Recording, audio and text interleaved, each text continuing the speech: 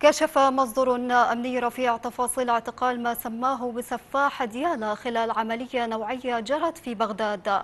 وقال المصدر أن قوة أمنية من استخبارات ومكافحة الإرهاب في ديالا وبالتنسيق مع استخبارات بغداد نفذت عملية نوعية ضمن أهداف محددة في العاصمة.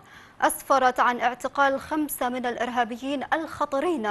بينهم إرهابي متورط بتفجير سيارة مفخخة في خان بني سعد قبل سنوات في سوق شعبية أسفرت عن استشهاد 150 مواطنا وأضرار مادية كبيرة وهي المجزرة الأكبر في تاريخ ديالا.